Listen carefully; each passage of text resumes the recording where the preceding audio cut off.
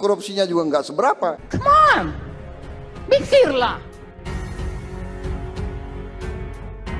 Ya. Saya jamin Partai Gerindra akan melawan korupsi sampai ke akar-akarnya. Kalau ada anggota Gerindra yang korupsi, saya yang akan masukin ke penjara sendiri. It's a bullshit, bullshit, Sendiri. Bu, bull, bullshit.